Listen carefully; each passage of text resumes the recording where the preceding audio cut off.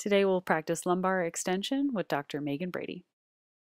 Feel free to do this exercise in bed. It's just as effective and feels just as good on a squishy surface, but today we'll show it on the ground. I'd recommend holding on to something like the couch or the bed to go from standing to kneeling and then transitioning hands and knees onto the stomach.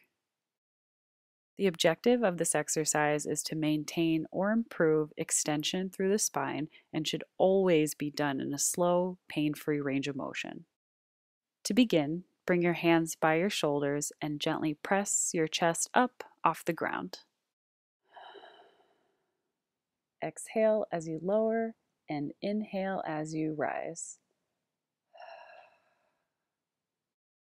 Think about using the strength in your legs and in your back to help yourself lift instead of forcing with your arms. This exercise can be done 5 to 10 times daily to help improve the extension range of motion in the spine. Great job! Now bend both of your knees and windshield wiper your feet side to side to stretch through the hips and back. And when you're ready, lift up onto your hands, give us a big smile, and check that your arms are about shoulder width apart by crossing your hands over your elbows. We'll maintain this position for about 20 to 30 seconds, allowing our shoulders to relax away from our ears and our belly button to relax to the ground.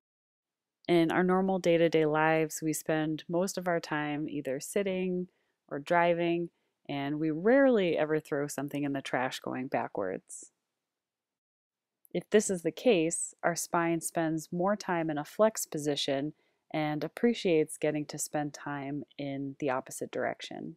The great thing about this exercise is it can be done watching TV or just relaxing in bed. So make this extension range of motion exercise a daily part of your routine. If you have any questions, you can ask your local physical therapist or drop me a message below. Great job!